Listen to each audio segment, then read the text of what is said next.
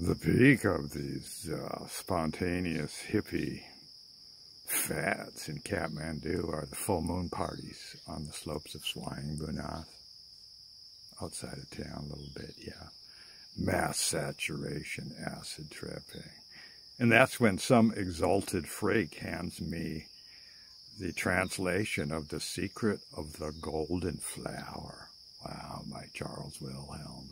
Yeah, his translation. I'm totally tripping and fully participating, celebrating in the full moon party. And I'm just saying, this hand-to-hand -hand gift, wow, uh, stuns me. The Eastern wisdom in the book, unfathomable. Yeah, profound. Oh, there's my hippie friend Larry with his golden trumpet, oh, blasting out in the full moon. Beautiful. Mm -hmm. Enthralling hundreds of trappers on the hillside. We earth freaks, we're high on the roof of the world in more ways than one. Yeah. Mm -hmm. This is our golden peak. Uh, we're certain we can manifest peace and love around the planet. No more hunger, no more war. wow. What a majestic spiritual view from these Himalayan peaks. Well, while tripping on powerful LSD in Kathmandu in 1969, surrounded by adventurous, mystical, acid tripping energy mates. yeah, we're vibing together. Uh, there's no no future imaginable except peace and love. I mean, take a deep hit on the chillum pipe, get a big puff of hashish in your lungs, pass it along to your neighbor. During this season, uh, Eddie remains a magnet for flip outs. Uh, Carl, dim witted, shadows Eddie emotionally, physically, and uh, then there's Bridget, too, French Bridget. I mean, Eddie's looking out his window from the dormitory on Freak Street, and there is Bridget wearing a long Afghani fur coat. Hmm. She walks regally across the street in front of a few Nepali guys who are silently following her. Bridget swirls around to face them and gives them what they want. She opens her fur coat, stark naked underneath. The Nepali guys pretend to shield their eyes from this living goddess, adult living goddess. Not like that youngster they bring out once a year Nepali girl and parade around town. Uh, yeah, French body. Mm-hmm. Well, Carl comes into the Ling Khazar. Uh, he's he's out of it. Uh, extremely upset. Why?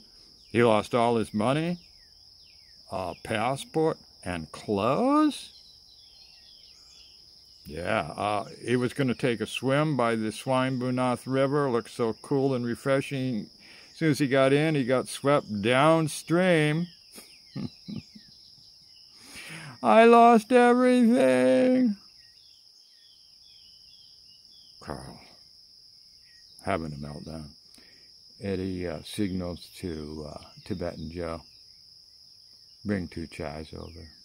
Mm. This is Eddie's fourth time in Nepal.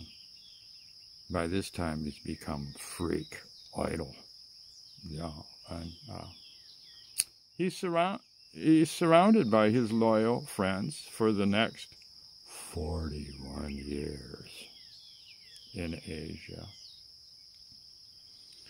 Eddie invites uh, to visit him, and so here she is strolling around naked in the uh, common dormitory room, uh, speaking to herself in French, other hippies. Mm, kind of keeping a lazy eye on her, uh, watchful.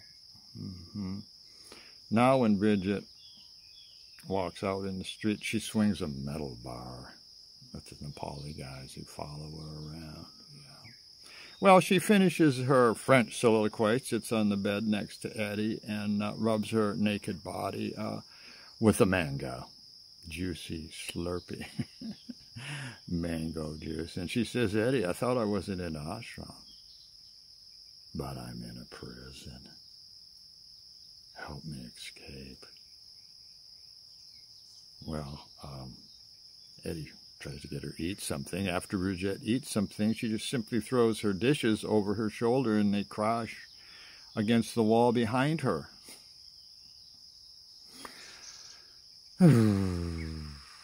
the sympathetic Nepali family uh, scoops up the pieces and puts the broken dishes on Eddie's tab. Yeah. Well, more happy characters appear, disappear in the Hashish Cafe Society as Kathmandu. Uh, Black Jim comes on the scene. Then there's Brigitte, Carl, Black Jim. Oh, discharged fighter pilot from the Vietnam War, gone mad.